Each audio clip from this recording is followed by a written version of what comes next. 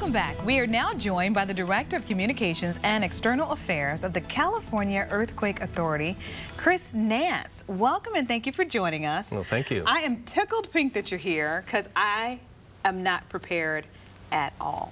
I mean, I know I should be. I've heard the statistics. I know it's inevitable. But as far as my home and my car, I don't have a safety plan. I don't have bottled water.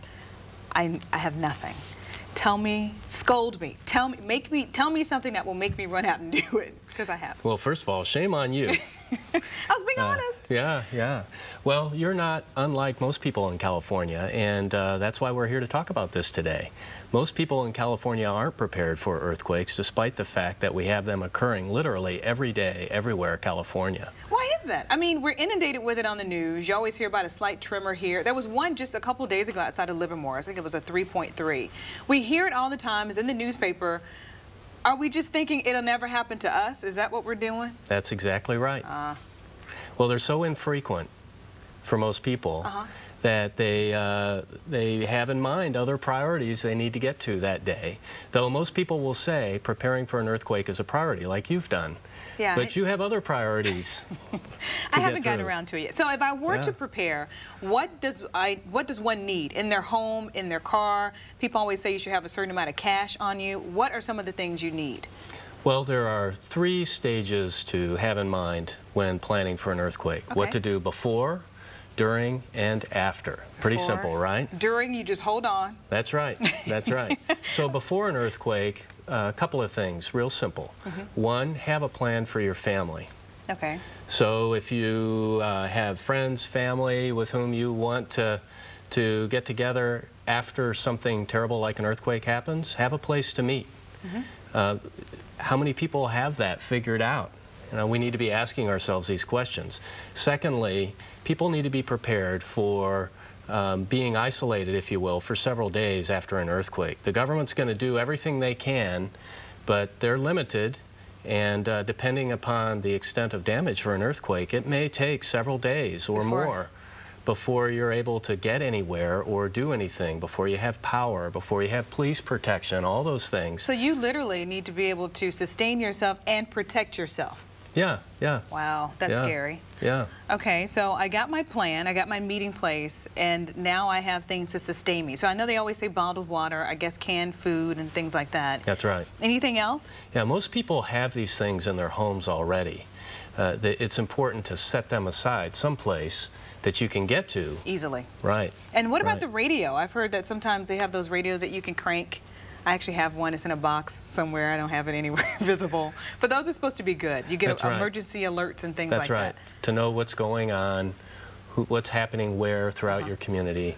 Okay. The radios are helpful. So that's before. During. I During. was joking before by holding on, but I guess you just brace yourself. Well, what you said is exactly what you need to do, but not without first dropping down, ducking under a table, just like this one here, okay. and holding on it's not the earthquake that kills people, it's the stuff that's flying. That's moving all around. That kills people.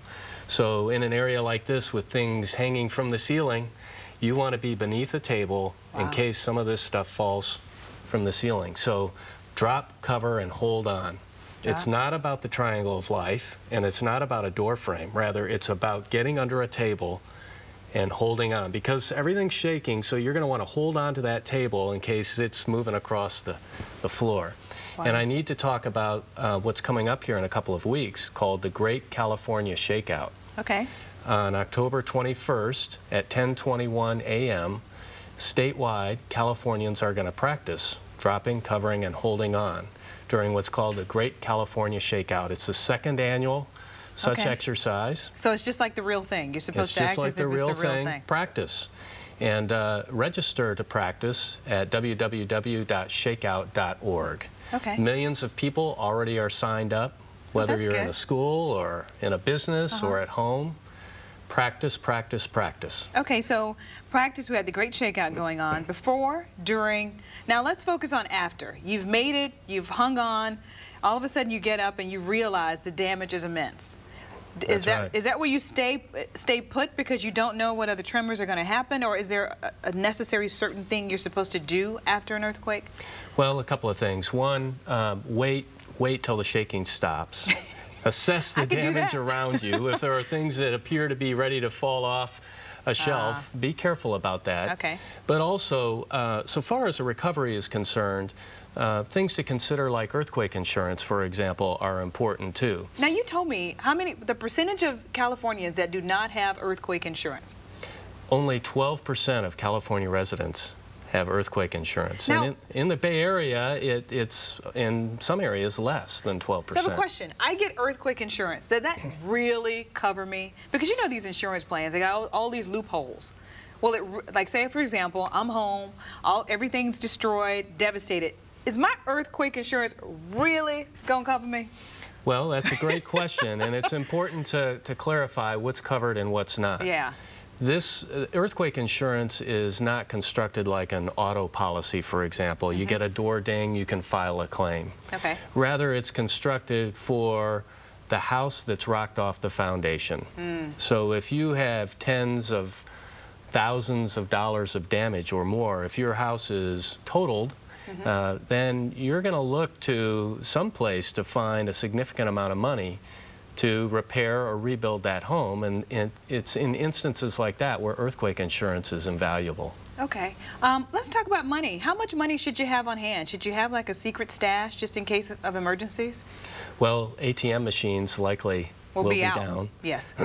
So, uh, and if you're in a, in a supermarket seeking to buy groceries, they're not likely going to have a register that's working, so your Visa card's not going to work. So you need to have cash. So you need to base that amount on who you have around you who will be depending on you. Okay, so let's not forget quickly our last question. Pets. What do I do with my pets? I love my pet. Well, I have a pet too, and uh, we keep him on a dog run outside the house Uh-huh. in case something bad happens to the house. But have your pet chipped and uh, have extra food in the house where you can reach it just like you would for the other members of your family. Okay, good. Thank you so much for being here with us Well, today. you're quite welcome. I'm going to do a better job. I'm going to get my things together because you never know. That's right. Yeah. For That's more right. information, you can log on to earthquakeauthority.com. Thanks for watching, and remember to uh, like us on Facebook and to follow us on Twitter. Have a great week. See you. Bye. Okay, I'm going to do my homework.